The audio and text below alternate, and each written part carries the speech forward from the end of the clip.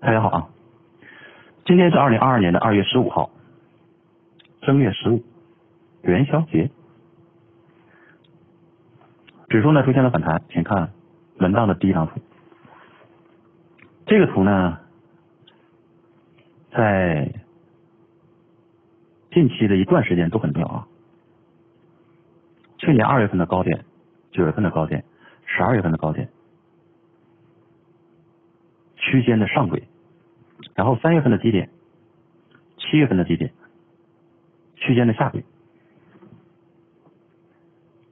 上轨和下轨是成平行线啊，平行线，那么代表了平行线上它们之间的所有的点都是有数学关系的，那么也代表了就这条线上所有的高点和低点都存在数学关系，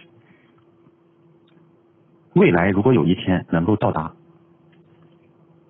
通道的下轨处啊，我不知道它什么时候到啊，它成为低点的概率会非常大，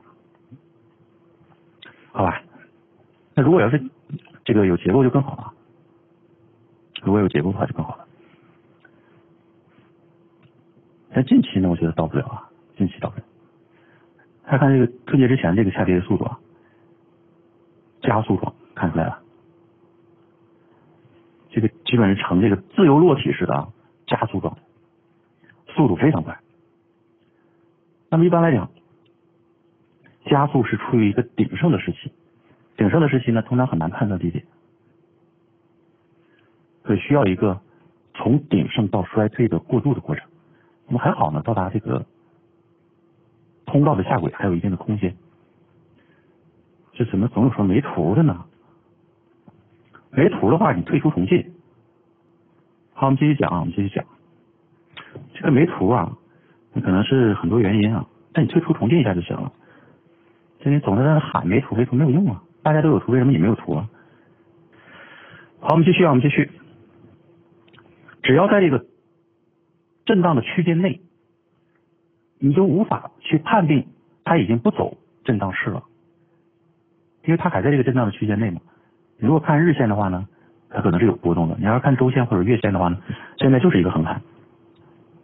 所以在区间之内，我们还应该秉承着震荡的思路。我们不能说在震荡区间里我们就不遵守规则了。震荡对于趋势为主的交易规则是有损耗的，但是我们可以进行微调。说我们一直以来呢，让大家留了那个四成的底仓，就主要是针对震荡区间的。所以目前来讲呢，就是说它没有脱离这个震荡区间啊，但是有几点：第一，震荡的时间已经很长了，一年多了，对吧？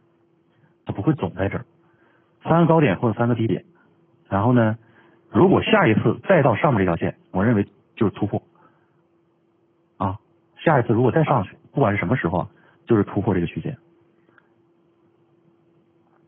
那假如说，到中间或者什么位置再次向下，这是第三次啊，第三次。如果第四次到达下面这个线，我认为大概率是破位，大概率是破位。所以这个横盘震荡的区间时间那么长，也不会持续的特别久。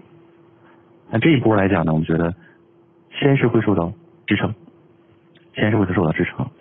咱目前距离这个线比较远啊，要结构没结构，要趋势没趋势，要序列没序列，是吧？现在目前就是等着。那么昨天呢，我们也说啊，近期呢，市场不太会容易出现像节前的这种单边式下跌。我们认为呢，是在三千四，就这两天啊，三千四到三千五之间震荡，对吧？昨天我们画了这个图啊，就短期的震荡。那今天的走势呢，跟我们昨天画的那个差不多。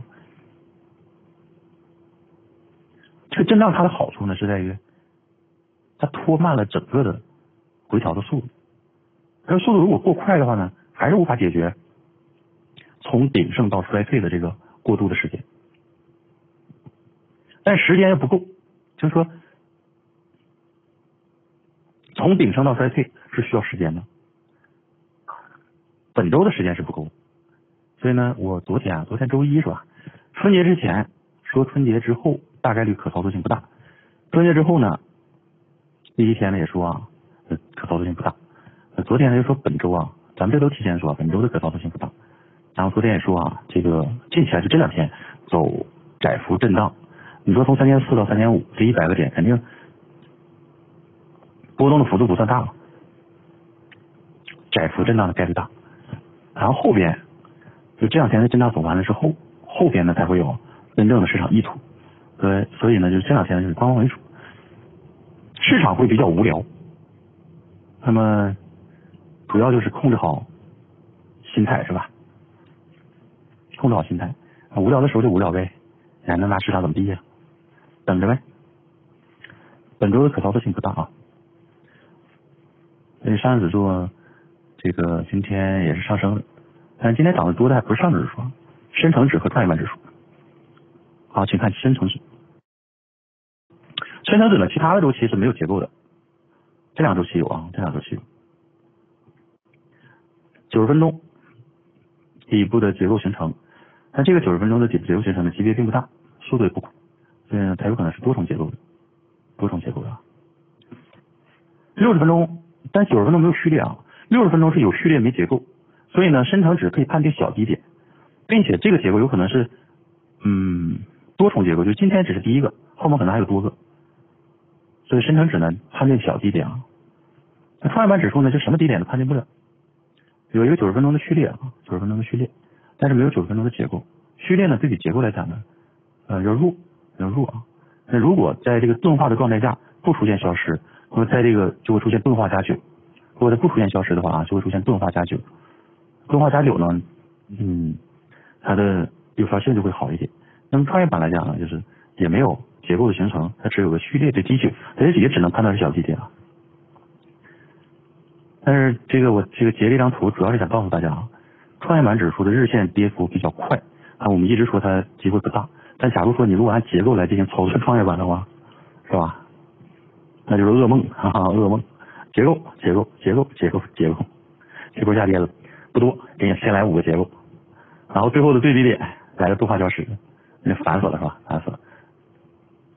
这多个结构呢也是比较常见的，比较常见的。那么你你你在判定结构的时候，你还要判定速度，还是要判定速度的。你看这这这结构多不多是吧？你来一群。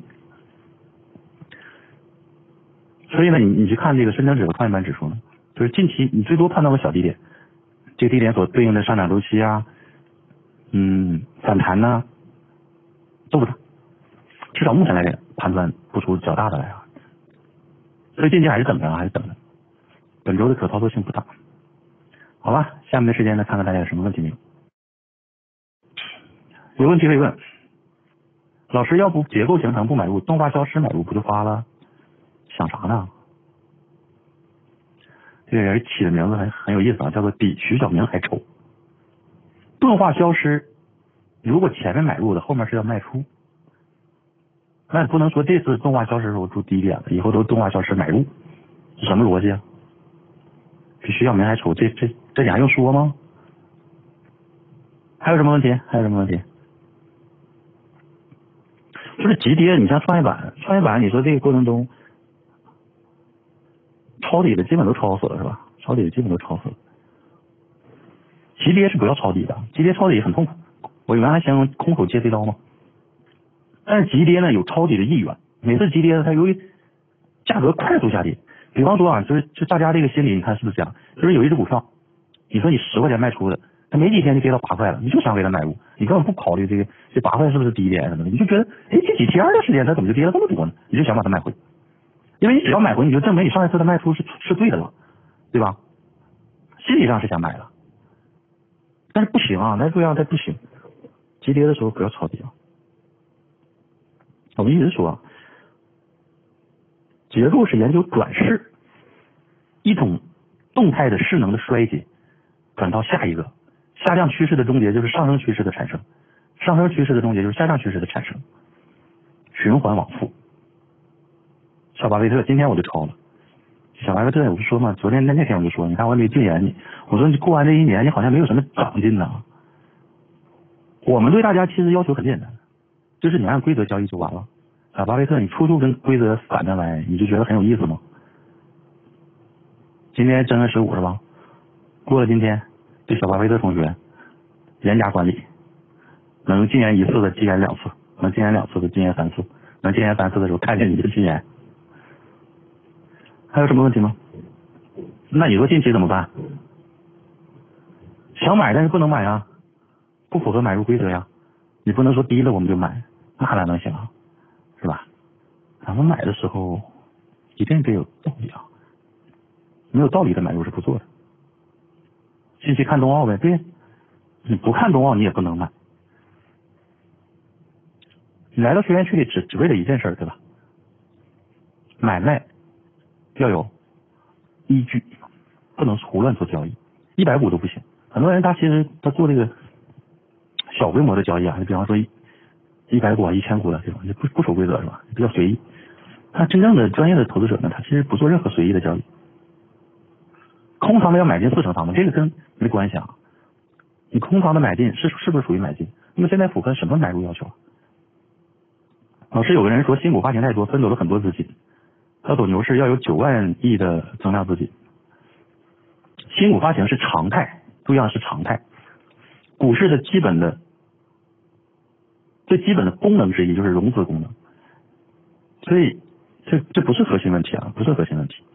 而且现在也没有跌，只是横着，好不好？这真下跌了，这不定说什么的都得出来了。还有什么问题没有？太难了，干啥不难？我我我这个就看这个做实体生意的啊，我说这个从那个今日头条看他们发这个做实体生意，各种难，各种难。前几天有一个河南郑州的，跟大家讲过是吧？开了一个店馆吧，反正实体生意了。然后一开始是吧？后来疫情歇业，然后发大水，还又疫情，各种。实体生意更难啊，更难。其实有些时候啊，嗯，你真正做了这个实体生意，你就会明白，它在于你这个，你像这股股市呢，你像现在啊，最多就是无聊嘛。我我拿钱想买，但是又不能买，就得你得逼着自己不能买，是不是？最多就是无聊嘛，天天看着行情，然后又又不能买，最多就是这样。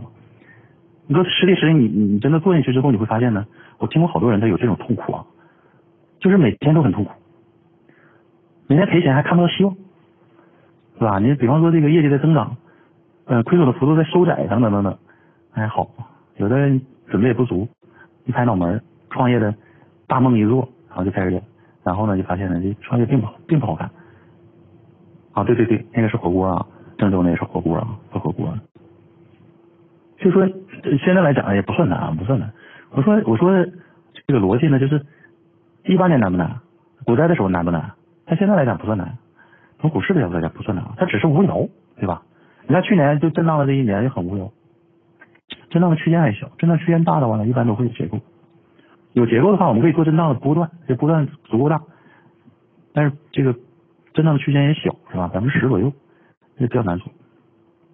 我不是怕难，是越难越有兴趣，不难才没意思，也不会有好的回报啊！你这吹牛问题啊？你这吹牛问，先遇到个单边下跌，我看你难不难？在郑州应该做会面不容易倒闭，不是做什么的问题。你说那刚开业没几个月就让你关了，是吧？或者是不关，但是没有客没没有客人，没有客流量，不是做什么问题。就现在其实做什么都不容易啊，做什么都很难。这做交易呢，就是说很多人说难啊难的，我说的意思呢，就是这个世界上没有容易的钱，这个世界上没有容易的钱，好吧？可能过去，嗯，未来会越来越不容易。然后我又跟大家解释过，我说信息的高度发达，使得信息不对称的机会会越来越少。股市里也有信息不对称呐，内部交易就是典型的信息不对称呀。当信息越来越发达，这种机会会越来越少，社会上的这种机会也会越来越少。然后你再去纵观发达国家，也是这样的，一样。只有在发展中的过程中，各个制度不完善的过程中，才会有巨大的呃创造性的机会。制度越完善，社会保障体系越好的地方，它机会越来越少。哎，那你就说这个就没有特别容易的啊，都需要深耕，深耕啊，不会再有两百万了。是，那两百万在那个年代，你倒倒腾国库券就行了，都也不不一定非得需要这个是吧？搞国库券，搞股票，那有一阵子大家记得吧？这个法人股是吧？法人股，很多人都不懂。真正来行情的时候，你就就你能解释出一千个理由来，还为行情因为什么什么来的行情，对不对？真正没有行情的时候也一样，为什么会下跌？怎么会下跌？说的口若悬河，唾沫横飞，没用啊！你最终你还是要涉及到具体操作上。所以大家不觉得我们这个很接地气儿吗？我们昨天说很简单，对吧？那就就直接说没有操作，很多没有操作，对吧？那不就就就行了吗？那比那个什么股市大涨啊、不涨啊、发新股啊、什么乌克兰危机啊，你说那些不有用多了呀？不是说吃着火锅唱着歌把钱赚了吗？怎么又难了呢？我没说难呐，是刚才有个学员说难呢。就你这种理解能力，你还炒股呢？我什么时候说难了？没行情就等着呗。啊，我总觉得做交易应该是比比比如说得做生意啊，而且，反正我我曾经跟大家说过的吧，啊，我做生意的成功率不高，做投资的成功率更不高，就是投资生意啊或者投资股权什么的啊，所以做交易来讲呢，是吧？我把我做生意和做股权投资的所亏的钱都赚回来了，所以呢，我觉得做交易相对来讲，我认为是简单的。但我做生意虽然说成功率不高，我那天看了一个数据啊，数据好像说是从这个创业成功率的角度来讲的，百分之九十五啊是失败的，只有百分之五。但我我那天我算了一下啊，我差不多能达到百分之二十。其实我做的所有的事儿当中，百分之八十是亏的，但是我能成功百分之二十。然后我一对比，正常是成功百分之五，我说那还行是吧？还四倍呢，四倍了，还可以。但吃一堑长一智嘛，所以现在来讲呢，我是什么也不投资了。好吧，有有有很多学员给我写 email 呢，然后发他的这个计划书，说要做什么什么事儿，然后投点钱什么的，是吧？家里亲戚也有，什么开轮胎厂的，然后哎，反正好多啊，然后投钱呢，然后这个朋友们也也啥的，所以呢，这个这个股权投资呢这一块呢，基本上我就不碰，不碰了啊。过去呢，就是这个无知者无畏哈。总觉得自己把事儿很多事儿能干成就什么事儿都能干成，那那个时候是就比较，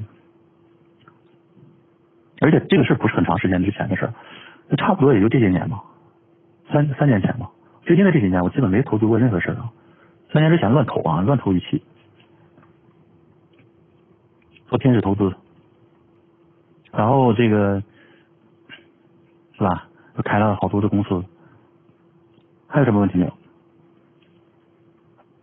所以相对来讲呢，就是尤其是这些年，为什么说不做投资，或者或者说这个做企业的经营，我也不打算嗯怎么做了，就是我觉得竞争力在下降，信息的高度发达之后呢，竞争力在下降，所以呢，我觉得这一块呢难度会越来越大。